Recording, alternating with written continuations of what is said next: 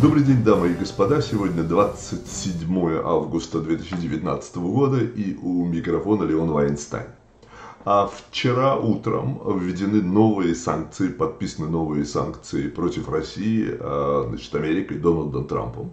А что означают эти новые санкции для граждан России?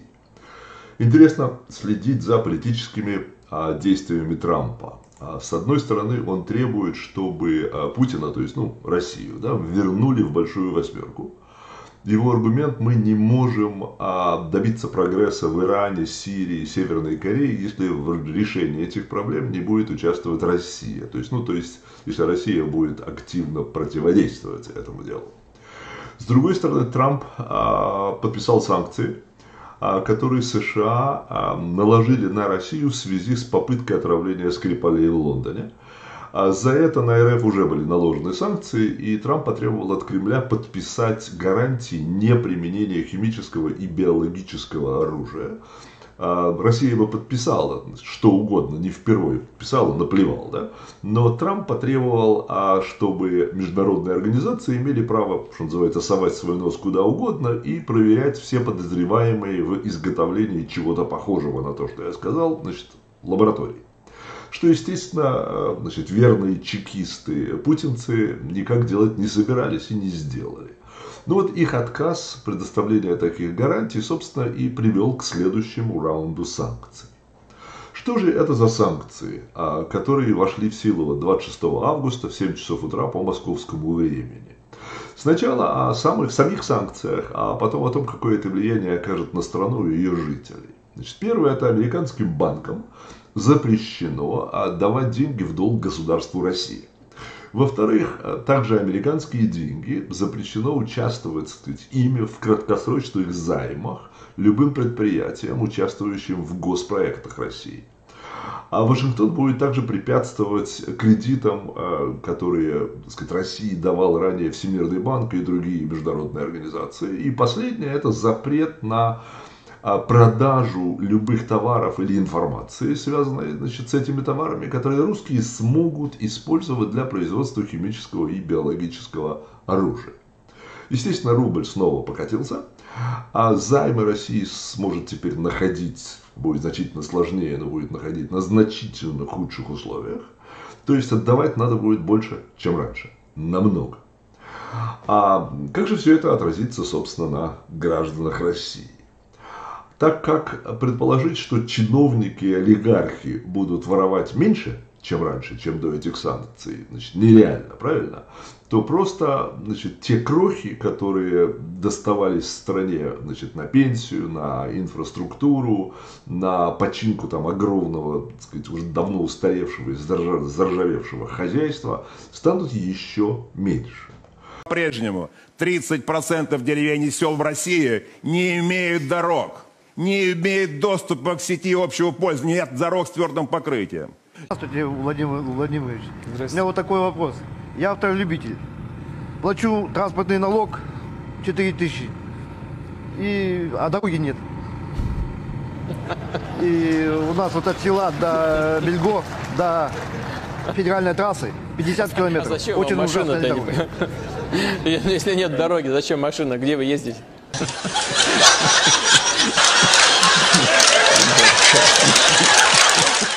После того, как воры значит, распределят между собой большую часть общака, будет оплачена армия, естественно. Расходы на нее будут расти с увеличением страха вождей, читай воров, за свою жизнь. А, будет а, увеличиваться внутренние силы, там типа ОМОНа, там Национальной гвардии, значит, а, ну там типа аналог штурмовиков, там и Гитлер-Югента, соответственно, в фашистской Германии. Им будут все больше и больше платить, чтобы они не предали в самый тяжелый, что называется, ответственный момент. Но все равно предадут. Еще надо платить церкви, а чтобы держала темную часть населения в узде, ну, на это вот, на все деньги найдут. А население будет нищать еще и еще, еще большая деградация, запои, еще больше отставание от цивилизации, возвращение в далекое прошлое, скажем, так сказать, рекордными темпами, то есть в то время как мир идет вперед, Россия будет спадать, двигаться назад. Но как, как следствие усиления, естественно, протестного движения, взрывы негодования от всяких там радиаций, плохой еды, жуткой воды, увеличение смертности населения и его дегенерация.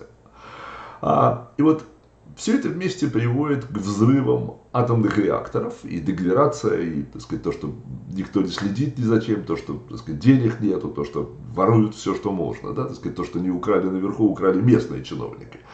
А взрывом газовых труб а под жилыми домами, как результат сотни убитых под руинами этих, этих обвалившихся домов, болезни, о которых э, не слышали со времен средневековой Европы. Люди у нас умирают в больницах, для этого больницы и существуют.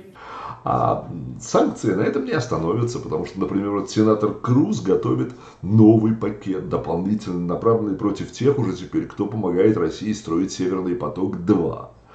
А, и, это, и это включит в себя и немцев, и французов, и вообще кого угодно. Европейцы, которые на словах а против включения Путина вот в восьмерку, на деле берут от него деньги – а строить вместе газопроводы. Основная цель, которого вот Северный поток-2, это задушить Украину.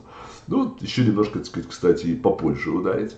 Ту самую Украину за вторжение, в которую Европа в 2014 году наложила на Путина вот эти самые санкции, исключили его из восьмерки. Да, вот скажите, абсурд, правильно? Абсурд.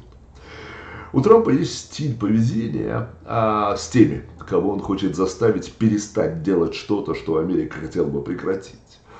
А жать экономически, при этом улыбаясь лично и называя, значит, э, тиранов там лучшими друзьями, хорошими парнями, э, популярными политиками.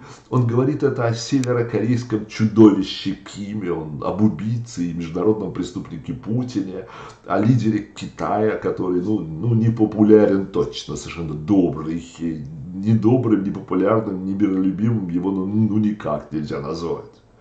Несмотря, значит, на, на то, что даже наши демократы и половина мира кричит, что Трамп, так сказать, не прав, он там слишком. Посмотрите на Иран после двух лет американских санкций. Валюта значит, падает уже так сказать, за чертой. Инфляция растет страшными темпами, экономика в ужасном состоянии, нет денег помогать террористам, чего, собственно, мы от них и добивались. И начались протестные демонстрации и движения. Трамп ждет, когда руководство Ирана поймет, что чтобы выжить, надо идти к Трампу и целовать кольцо. Иран уже не тот, что был два года тому назад, совсем не тот. Россия больше, богаче, значит, народ более апатичен и готов жить ну, в грязи и без пищи, но, но ему надо молиться на вождя все время. Но вот в какой-то момент, значит, вот, вот то, что еды не будет, вот не славянский фюрер им не заменит. Трамп, я думаю, надеется на то, значит, что когда бабки в селах поймут, что нечем кормить внуков, и что значит, никакого будущего у их детей при Путине нет, начнется волна народных протестов. И тогда у Путина и его ПГ будет два варианта действий. Топить страну в крови, и тогда уже, так сказать, никакой помощи ниоткуда он не получит, и надеяться, что, значит, выжившие разбегутся по норам, или бежать к единственному спасителю Доналду Джею и перестать делать то, что Трамп хочет, чтобы они перестали делать и, соответственно, получить снятие санкций, помощь в построении там, капитализма или чего там они собираются строить. Народная мудрость говорит, нельзя зверя загонять в угол, не оставляя ему никакого выхода.